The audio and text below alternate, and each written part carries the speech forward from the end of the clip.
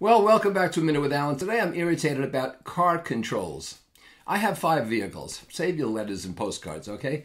And uh, each one of them has controls in different places horn, lights, radio, all this kind of stuff. Even the two Bentleys I have, which are different models, same year, have controls in different places. Now, a lot of you have rented cars when you've been traveling. And when you rent a car, if you're smart at all, the first thing you do is just sit in it for about two minutes and you learn where the horn is and the lights are and the radio is and all this kind of stuff. It's interesting to me the cars are now mandated to have heated rear windows.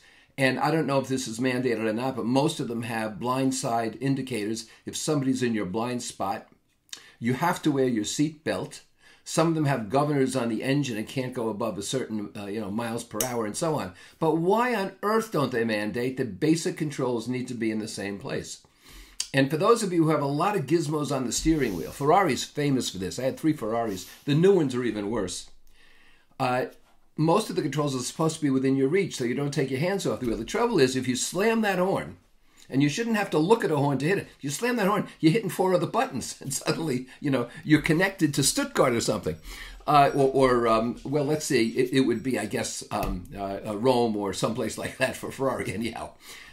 Car controls ought to be somewhat, you know, uh, arranged so that they're the same. They're consistent from car to car.